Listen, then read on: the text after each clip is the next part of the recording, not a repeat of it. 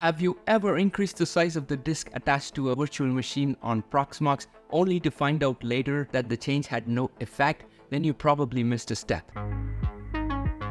Hello Geek Army, Anand back again with one more video. Few days back, I published a video on how to install Windows 11 on Proxmox 8. Soon after publishing that video, I realized that I did not allocate enough space for my Windows installation because I was going to install a lot of applications, I allocated only 64 gigabytes. This is such a simple problem, so like any overconfident home labber would do, I went to Proxmox GUI, selected the disk, increased the size from 64 gigabytes to 72 gigabytes, rebooted the Windows virtual machine, and Windows would not see the increased space. This is not a Windows only problem. I faced this exact same thing with Proxmox backup server, which quickly filled up the 512 gigabytes I assigned to it.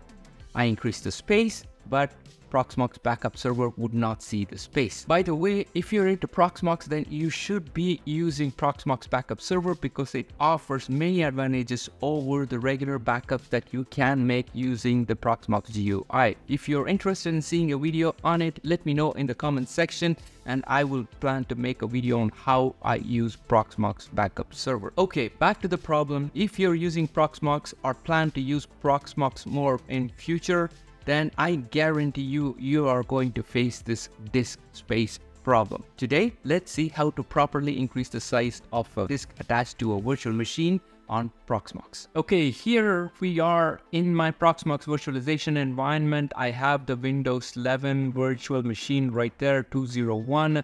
You can also see my C drive, which has 64 gigabytes of space that I assigned to it.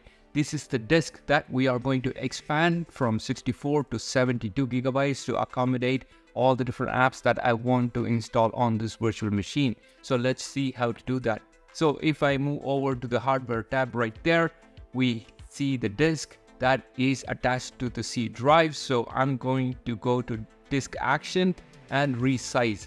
Here we specify the additional amount of disk space that we want to assign. It's not the new disk space, so we're gonna say 8 because we want to go from 64 gigabytes to 72 gigabytes. So let's resize it and there you go we're done now it's up to 72 gigabytes of space now this is where i would reboot windows and check and windows would continue to show 64 gigabytes of space and not see the extra 8 gigabytes of space that we just added this is normal and it's because we are missing one more step. If we refer to the Proxmox documentation right here, there are actually two steps in increasing the size of the disk. The first step is size of the disk itself, which we just did. And the next step is to let the partition also know that there is some extra space that the partition can use. And that's the step that we typically end up missing. And we're going to do that right now. How do we do that? We need a partition manager to do these activities or these changes offline. Therefore, we're going to use system rescue cd, what you see on the screen right there. I'll put link in the description below. Download it from any of the two sources that you can download it from. I got it from SourceForge and it's already on my system, so I am not going to download it right now. So let's head over to Proxmox and to the storage location where you typically upload your ISO files to. Here I am in local, I'm gonna hit upload and select the system rescue CD that we just downloaded. Now while we're at it, we're also going to ensure that the image has not been altered from the time it was created by anyone. So we're gonna go over here and we're gonna use SHA256 checksum. So if I click on this link here, I will get the key that I can use for this validation. Ignore the last part of it. So if I go back to my Proxmox, and pick SHA256 and paste this key and upload it. Proxmox will upload the ISO file to the location. Once done, it's also going to ensure that the ensure the integrity of this file. So let's give it a few more seconds for this step to complete. So, and there you go.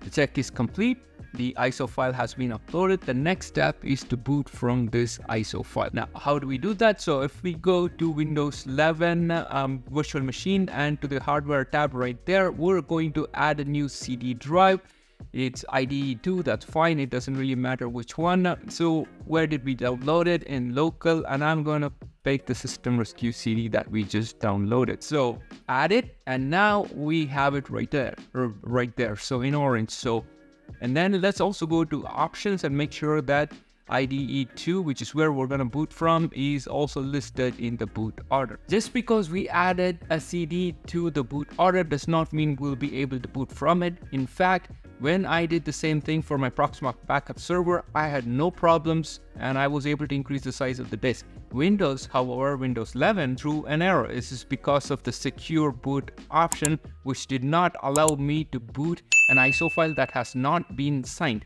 So for this, we'll have to go into the BIOS and make some changes so Windows can ignore this part and let us boot from the system rescue CD. So let's see how to do that. I have found that the even in situations where just a reset or reboot would do, shutting down the whole virtual machine has been the most successful way to do it for me. So I'm gonna shut down this virtual machine for the changes that we just made to take effect. So let's wait for the machine to shut down and then continue. So the virtual machine is off right now. How do we get into the boot? This can be a little bit tricky. As soon as you power on the machine, you will have to hit the escape button right around when the Proxmox logo shows up. So we're gonna do that right now. So I just hit start right now and I'm gonna start pressing the escape button. There you go. So I entered the system BIOS and I want to demonstrate the problem that I just mentioned earlier. So if I go to boot manager, I do see the DVD ROM right there. When you don't shut down your virtual machine like we just did, this normally does not show up. That's problem number one. We shut down the virtual machine.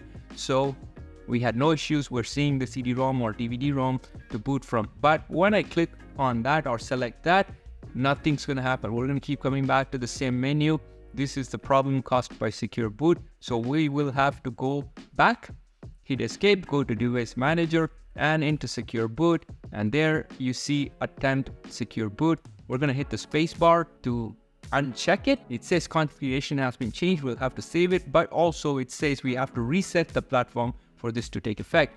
Personally speaking, resetting, which I will show, has has not worked for me. Shutting down, as I mentioned before, has been the best way for me. So we we are going to do that right now. But before that, let's hit F10 and we're going to hit F10 and we're going to hit Y to confirm that.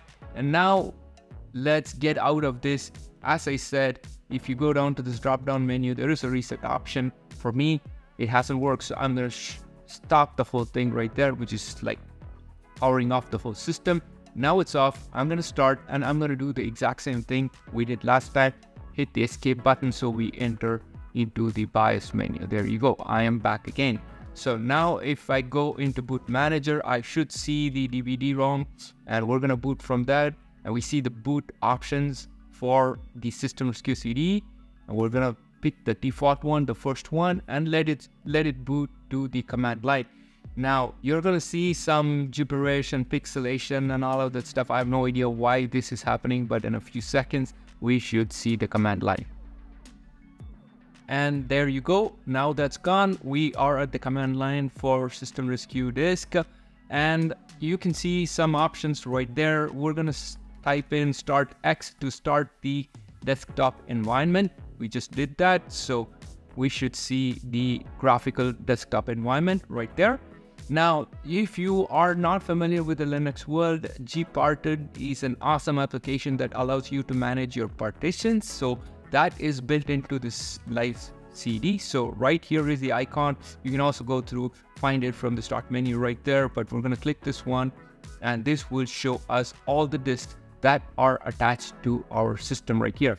Now, this is a Windows system. There's EFI partitions, all kind rescue partitions and all of that stuff. In fact, this right here, 63.13 gigabytes is what we want to expand to 72 and the 8 GB of unallocated space we just added is at the end. Unfortunately, there is a recovery partition right in between. This is going to stop us from expanding the 63 GB to 72 GB step. It's a problem only for uh, Windows systems mostly. When I did the same thing for Proxmox backup server, I did not have this issue. Going back to Windows right now, now, do I really have a need for a recovery partition? I don't think so because I'm on Proxmox and all my virtual machines and containers are set to back up on a periodic basis. I don't really have a need for recovery partition. So in this case, I'm going to delete it because if I don't, I cannot really resize this partition.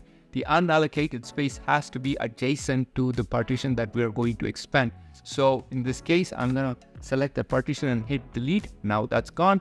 You can see that unallocated space is now up to 8.76 gigabytes. So we're now going to hit this, select this one and resize it and point at the arrow right there and drag it all the way to the end. Now that's been resized. It's closer to 72. It's a little bit less. That's fine. But here you go. You have the space that we wanted. So we will check, hit the check mark right there to apply all the changes. These changes should apply. Everything seemed to have went without any problems. Let's close this and now we are going to shut down one more time.